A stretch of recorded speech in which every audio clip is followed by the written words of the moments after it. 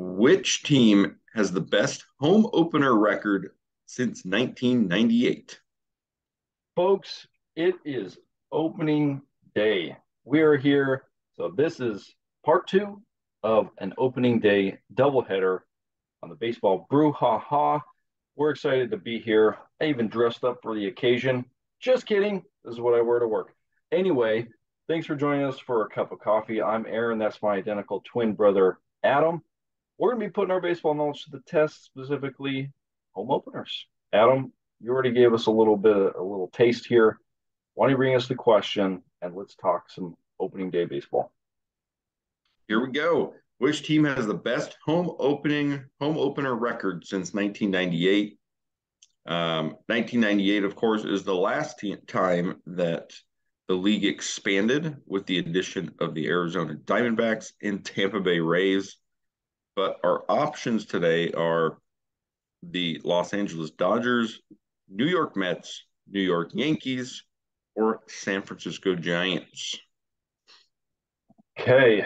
Um, this one is is so wonky because you look at uh, you you try to think, well, okay, well, who was good? But like on any given day, um, first of all, I don't know who the opponents were any, any of those.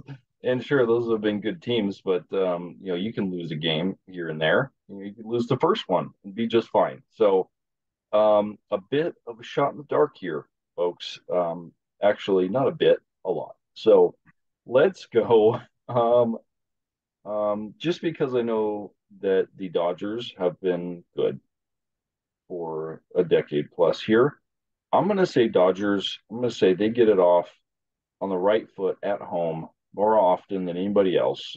That's what I'm going with. Strong convictions right here. Let's go. Let's go. and I'm going New York Yankees. I feel like that's you know for those who play for the Yankees, you probably get pumped to play at Yankee Stadium opening day. Yeah. And then maybe someone playing against the Yankees, maybe you're feeling a little nervous. It's the first game we're playing at Yankee Stadium or you know mm-hmm. whatever. So I feel like that venue, that you know, first game of the season at Yankee Stadium, bringing up jazzed. So yeah, you're bringing in the human element here.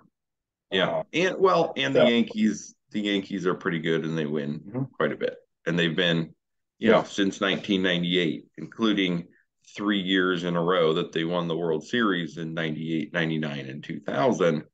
Yeah. Um, they've had some good teams as well. Yeah, and we're so, in it in 2001. So you know, there you go.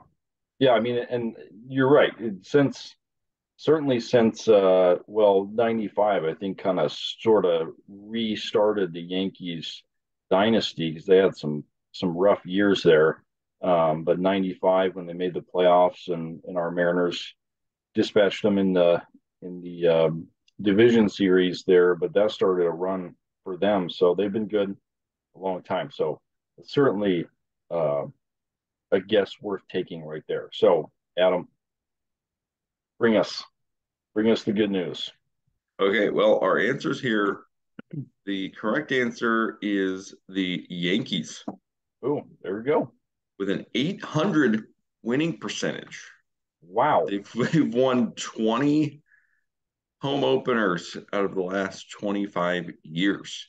20 and 5. Wow. Yeah, that's crazy. I mean, that's that's like a put your money on that. on that yeah, yeah, uh, the the uh, the Mets and Giants were next closest at 18 wins. Dodgers tied with a few other teams at 17 wins. Okay, um, still still quite productive over that yeah. period of time. Interesting little note here. I don't know if you picked up on this or not, but these top four teams, their franchises all originated in New York City. Oh yeah, so, no kidding. So, you know, a little New York magic for the home openers on this one. Even carried over to California. So, yeah. Yeah. You out there, you're probably wondering who is the worst home opener team? So, to to satisfy that craving, what go ahead. Well, so on the, I want to take a guess because, um, and I don't know if this is accurate, but I heard I was watching something the other day that the Braves had lost like seven in a row or something. So I'm tempted to go Braves with this, just picking team out of the air. With that said, uh, I mean, there's some teams that have had some rough stretches here, but um, just because of that one thing that I heard that um, really only represents about a quarter of the time span that we're talking about, I'll say Braves. Okay, it's not the Braves. It's not sadly. the the A's, Reds, and Pirates. not, not not surprising. yeah. um, who are you know annually a poor team. Um, they're all tied with only nine wins, a 30, a 360, a 36% winning percentage. Okay. Well, um, you know, you you might be wondering also, does it matter? I mean, of course the games matter, but we got 161 other games. Mm-hmm. So for World Series winners, you know, looking back at their home openers, they have won their home opener 68% of the time. Okay. So if your team wins on opening day, you can hold, you know, just be like, okay, we're doing it this year. Yeah. we're doing it this year. uh, well, yeah, it'll be interesting. You probably don't have the statistics on playoff teams, but there are there's quite a bit of you know more reliable statistics once you get into a certain point in the season um, you know, winning record or whatever it is of, you know, the likelihood of making the playoffs. One game is certainly not a make or break, but um, but at the same time, you look at kind of the trajectory over these. You're talking about A's, Reds, Pirates, you know, on the low end, and and um, Yankees, Giants, Mets, Dodgers on the high end. Um, you know, it's interesting how um, you.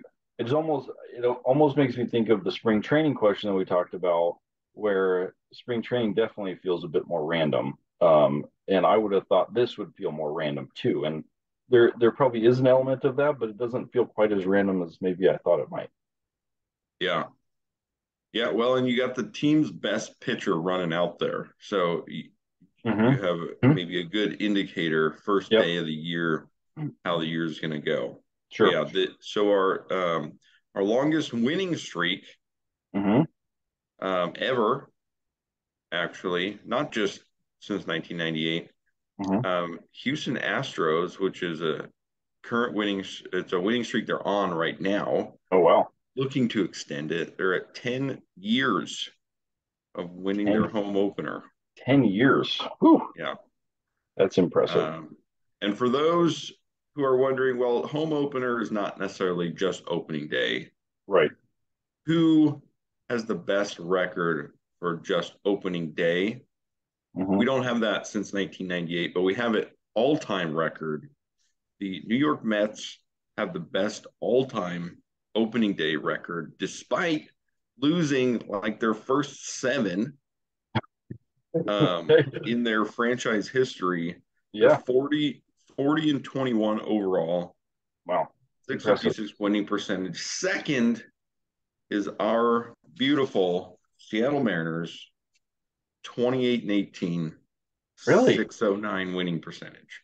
That surprises me a lot, but um but I mean, I don't know. Yeah, I mean, just trying to think back like why is that? Well, like I mean in the 90s you had Randy Johnson and on opening day and you know, they had some good offenses, so maybe that makes some sense. The Mets have had some really good pitching throughout the years from Seaver, Nolan Ryan, Doc Gooden, you know, Bret Saberhagen, you know, even right now having Scherzer, Verlander um, going getting after it. So um, yeah, so back to your the winning streak for the Astros, folks. Today you can you can check it out and see if they extend that winning streak today. They're playing at home against the White Sox. Will they make it eleven? That's what we want to know. You have a you have another obscure one, don't you, about opening day? I I do. Um, there was a tie for a home opener for the at the time Boston Braves. Uh-huh. Uh, playing against the Phillies. Uh, there was heavy rain You know, mm. this is 1950, heavy rain, put the tarp out. The tarp technology was not as good, apparently, mm-hmm. Um, or at least the rolling up of the tarp technology. So it rained for about an hour. Uh, they go to remove the tarp. Um, all the water comes off the tarp onto the field. There's this. this is like this is like high school style, right? Yeah. Creates a swamp in right field. the umpire determines the field is unplayable and they they they ended up making they replayed the game later on okay. so the the the like record of this particular game um was gone washed wow. away should we say yeah um, and and so little little home opener quirky uh obscure trivia yeah. for you right there this is stuff you don't get i mean i feel like there's got there's quirky stuff in other sports but i feel like in, when it comes to baseball it doesn't get any quirkier than than baseball in terms of the stuff you you find getting swamped out a rain out swamp out uh, tie on the opening day who would have figured so well folks Thanks for joining us today on the Baseball Brewhaha Opening Day edition. I hope you're uh, getting a chance to root for your team. I know our team, Mariners, plays later tonight, so advantage us who don't have to worry about uh, the old work schedule. So, anyway, enjoy your cup of coffee. Add your comments below. Subscribe. Love to hear from you. Please add um, any any uh, topics of trivia or specific questions that you want us to tackle. We will get to those and we would love to hear your your input there. So enjoy baseball today, and we'll be back with you tomorrow.